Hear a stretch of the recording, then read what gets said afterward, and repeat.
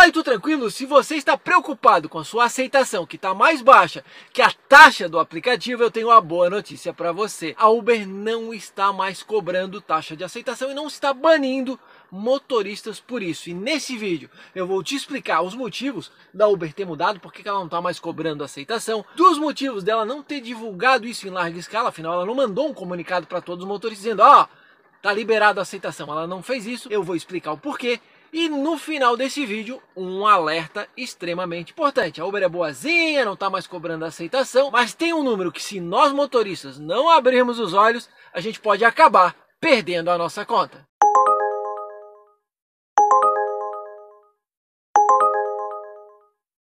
Vamos lá, se você está chegando agora no meu canal, prazer, meu nome é Fernando, eu sou motorista de aplicativo desde 2016 e já faz um tempo que o pessoal anda preocupado com taxa de aceitação. Pois muitos motoristas já entenderam, já entrou na cabecinha de muitos motoristas que ou você aceita tudo, mantém uma boa aceitação, ou você ganha dinheiro, que não dá para você equilibrar as duas coisas no atual momento em que a gente vive, nas situações que a gente se encontra, principalmente com a tarifa do jeito que está. Então o motorista, para ganhar dinheiro, ele precisa escolher muito bem as suas corridas. Muitos já aprenderam isso e eu até comentei sobre como eu escolho as minhas corridas nesse vídeo aqui. Ó, dá uma olhada no card depois, como eu escolho as minhas corridas e qual a minha preocupação com a taxa de aceitação.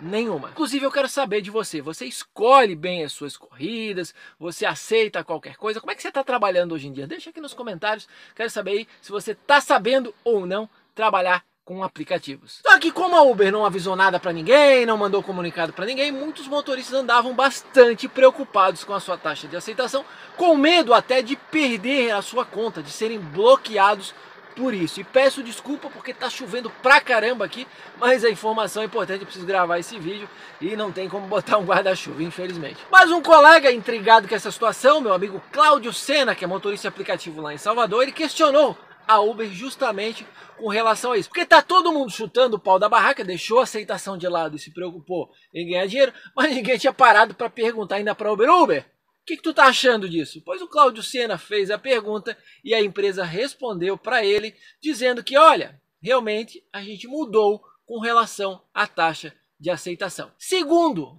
a Uber, o motivo dela ter mudado foi que com as mudanças no aplicativo, que em muitos locais já tem ali o valor da corrida, quanto é que você vai ganhar antecipadamente por aquela corrida, tem nota, tem destino, tem uma série de fatores que levam o motorista a ter mais informação e aí decidir ou não se quer fazer uma corrida. A Uber diz que entendeu que dessa forma, pô, se eu estou dando informação para o motorista escolher melhor, por que, que eu vou exigir que ele escolha mais? Então diz a Uber de forma oficial que a mudança se deve a, pô, estou dando mais informação, vou deixar o motorista escolher.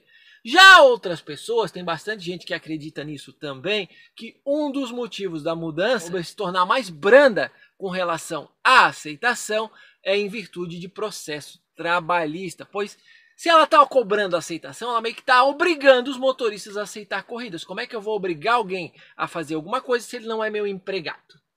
Então, diz que a Uber andou perdendo aí alguns processos por conta disso. Aí ela entendeu que também por conta disso, olha, vou parar de cobrar aceitação porque não está fazendo sentido. 99 também deixou de cobrar, não está sendo mais tão rigorosa. E outros aplicativos aí, como o próprio InDriver, não cobram coisa nenhuma, aceita quem quiser. E aí vocês perguntam, ah, beleza, ela mudou, legal, bacana, mas por que, que ela não avisou todos os motoristas do Brasil que agora ela não está mais cobrando aceitação? Obviamente, ela fez isso para não gerar bagunça e não escancarar, ó, agora vocês fazem o que vocês quiserem. Ela não é boba, né? Uber não é boba, não é tola. Ela, do jeito que tá, sem avisar, já anda sofrendo aí com passageiros reclamando que não estão conseguindo o carro. Imagina se ela escancara para todo mundo dizendo, ó, aceita o que você quiser, tá valendo aí qualquer coisa vai ter muito mais gente recusando corrida e vai ter muito mais reclamação de passageiro que não estão conseguindo carro. Então, por conta disso, ela não avisa em larga escala, simplesmente ela aquilo, não penaliza mais o motorista